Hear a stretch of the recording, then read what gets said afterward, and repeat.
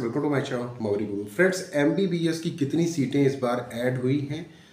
NMC ने कितने college को अप्रूव किया है? और उसकी वजह से आपके ऑल इंडिया कोटा और स्टेट कोटा के कट ऑफ़ क्या प्रभाव पड़ेगा?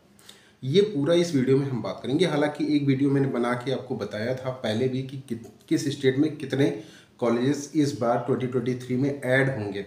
ठीक है? कुछ नए कॉलेजेस भी ऐड हो सकते हैं जो कि जिनकी प्रोसेसिंग चल रही है। लेकिन जितने कॉलेज अभी तक ऐड हुए हैं उनके हिसाब से आपका ऑल इंडिया कोटा का कट ऑफ़ कितना रह सकता है? मैक्स टू मैक ये हम बात कर लेते हैं इस वीडियो में।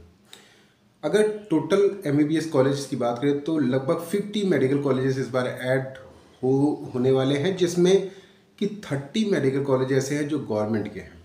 ठीक है? 30 मेडिकल कॉलेज में एवरेज अगर 100 सीट्स एक मेडिकल कॉलेज में है तो लगभग 3000 सीट्स इस बार ऐड होने वाली हैं।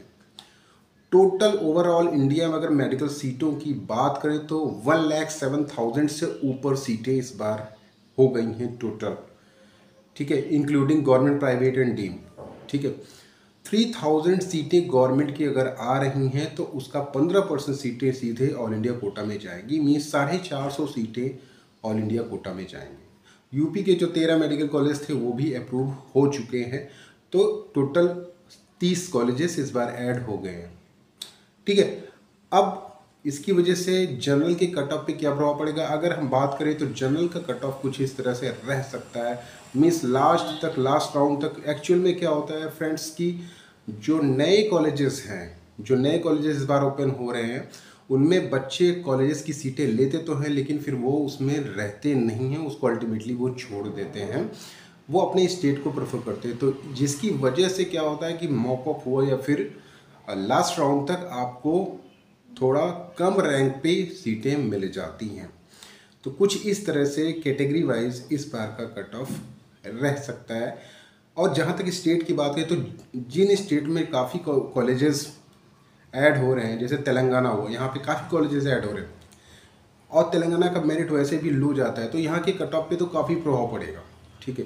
लेकिन राजस्थान में अगर तीन चार कॉलेज भी ऐड हो जाते हैं फिर भी यहाँ के कट ऑफ़ पे उतना ज़्यादा प्रभाव नहीं पड़ेगा, क्योंकि यहाँ की मेरिट बहुत हाई होती है। यूपी में तेरह मेडिकल कॉलेज ऐड होते हैं, तब भी यहाँ के कट ऑफ़ पे उतना ज़्यादा प्रभाव नहीं पड़ेगा, क्योंकि ऑलरेडी यूपी की मेरिट बहुत हाई होती है। मैंने पहले ही बता दिया कि दो तीन मार्क्स का गैप हो सकता है यूपी के कट ऑफ़ में, ठीक है? केवल तीन मार्क्स का, क्योंकि तीन मार्क्स के अंदर हज़ार से ऊपर बच्चे आ जाते हैं, इतनी तो सीटें भी नहीं रहती हैं। तो इसलिए, क्योंकि एक एक मार्क्स पे बहुत सारे बच्चे होते हैं।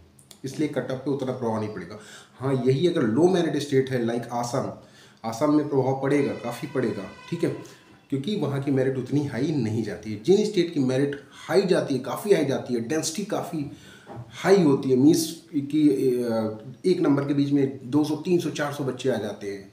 यूपी हो गया बिहार हो गया राजस्थान हो गया, या दिल्ली हो गया, इन सब स्टेट में बहुत ज़्यादा फ़र्क नहीं पड़ता। अगर 10 मेडिकल कॉलेज भी आप डाल दो तो कोई फ़र्क नहीं पड़ता है। ज़्यादा फ़र्क नहीं पड़ता है कि पाँच से दस नंबर का कट ऑफ़ कम नहीं होता है। ऐसा आपको तेलंगाना में दिख सकता है, आंध्रा में दिख सकता है, या फिर आसाम में दिख सकता है कि पाँच दस मार्क्स का डिफरेंस हो गया, लेकिन यहाँ पर आपको इतना डिफरेंस देखने को नहीं मिलेगा।